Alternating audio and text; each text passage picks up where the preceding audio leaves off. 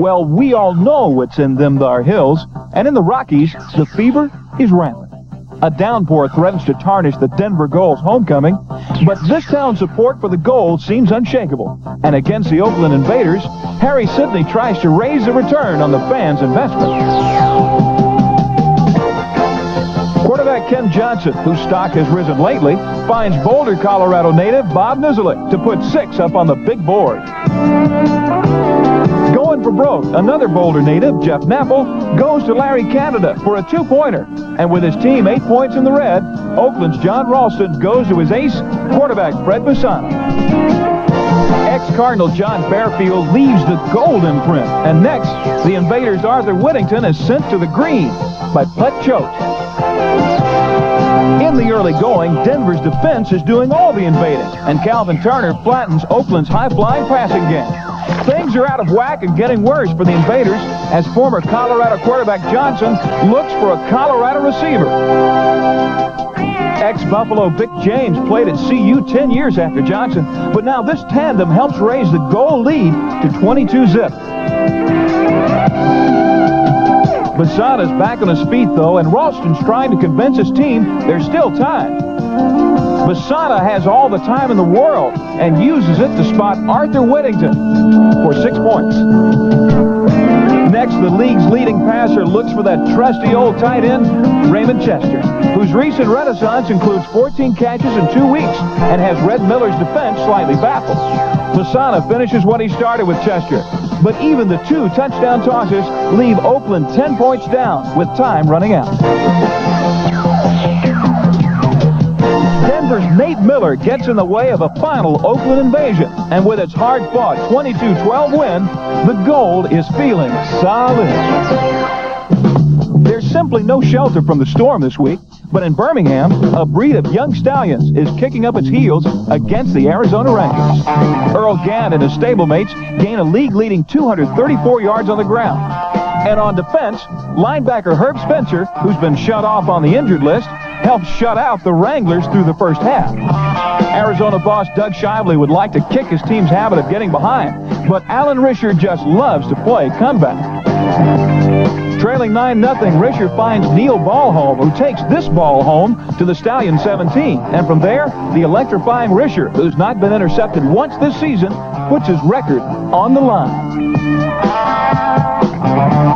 Florida State's Jackie Flowers pedals free in the end zone, and the visitors are starting to feel quite at home. Trailing by just two, Arizona goes to Steve Howell for a key first down. And on fourth and one, Risher goes to Howell again. The league's stingiest defense holds him, and Howell. And now the Stallions' Bobby Lane has a chance to put Birmingham's first home win on ice. Lane's first down dive gets a 10 from head coach Rollie Dotsch and gives the Stallions a chance to introduce another unlikely success story. Meet Cornelius Quarles, a rookie from Howard University, who dashes for 90 yards in his first pro game. This 32-yard touchdown by Quarles seals a 16-7 win. And if Stallion fans fall for this new fella, Rollie Dotsch would have no quarrel at all. The USFL's intoxicating effect on Chicago extends from the chorus girls to daddy's little girls. But there's no hiding from the fact that George Allen's blitz has lost two straight, and Hugh Campbell wants to make it three straight for the first time in Allen's career. Blitz quarterback Greg Landry is thinking short on fourth and three, but ex-Jet Kevin Long gets the first down with plenty to spare. In a game dominated by defense, Long again goes a distance, giving Chicago a 10-zip halftime lead. After intermission, LA conducts an emergency board meeting, and quarterback Tom Ramsey carries out a play designed expressly to get the visitors on the scoreboard. Former Montana State runner Tony Boddie knows his X's and O's, and this 40-yard touchdown has him hiding in Chicago.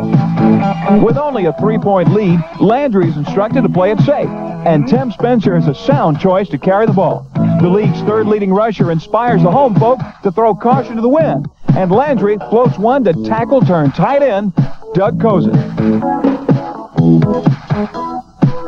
Trailing by 10 again, it's Ramsey's turn for the old heave-ho. And wouldn't you know, Ricky Ellis brings L.A. back to within three. Campbell likes the fact that all of Chicago's past opponents scored on their last possession. But Ramsey's most eligible receiver is blitz safety Eddie Brown. And another winning streak begins for George Allen. A special tribute this week should go to number 52, Stan White, who makes an unassisted tackle on his teammate. But we think this week's most notable defensive performance came to the USFL straight from one of football's most glorious traditions.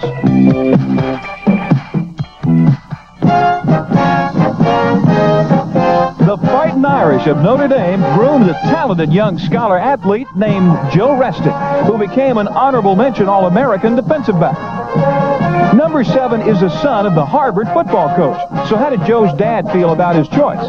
When I finally told him that was I was going to go to Notre Dame, I think he was just as happy as I was. And now everybody's happy for Restic, except the New Jersey Generals, that is. Number 38, Restic led the Boston Breakers to their come-from-behind win over the Generals by being in the right place at the right time. Currently a dental student at Pennsylvania, Restic is making Breaker fans smile by coming up with a big play.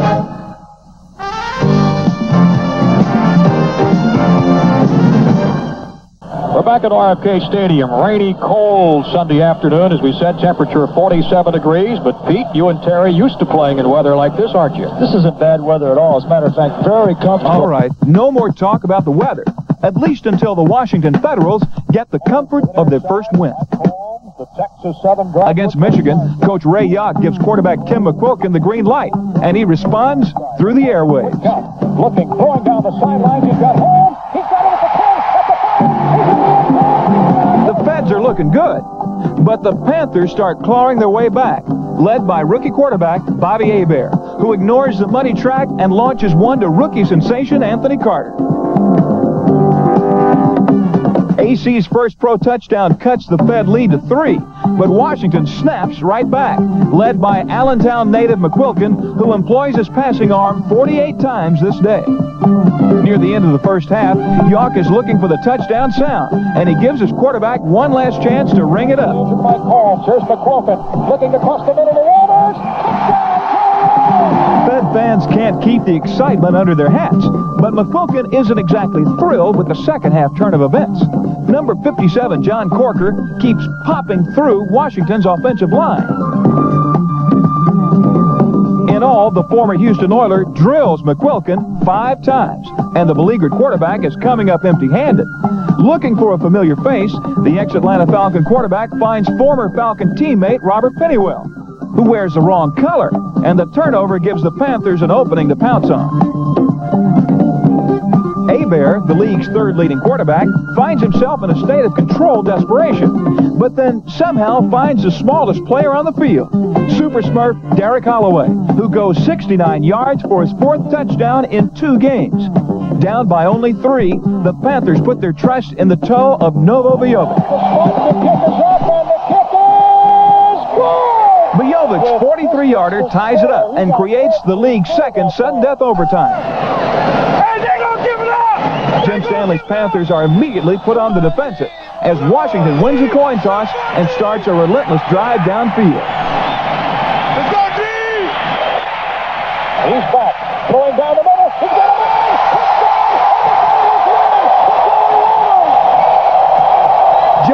Second touchdown catch from McQuilkin gives the Washington Federals a 22-16 victory, the team's first and certainly one to savor. Now, no matter what the weatherman says, there's no rain on the Fed's victory parade. In case you're wondering what all this means, that is exactly what it feels like to win one after losing three. Let's ask the coach. Beats the other alternative, I'll tell you that. Well, when it comes to top-notch pass receivers, Ray knows no better alternative than Joey Walters. A former star at Clemson, Walters became a Canadian football legend, catching 101 passes for Saskatchewan in 1982.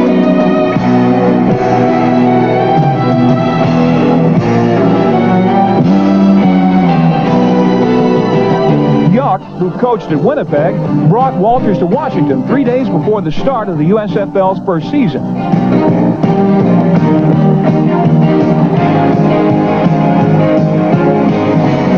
The 28-year-old Walters changed his number to 87, but the rest remains the same.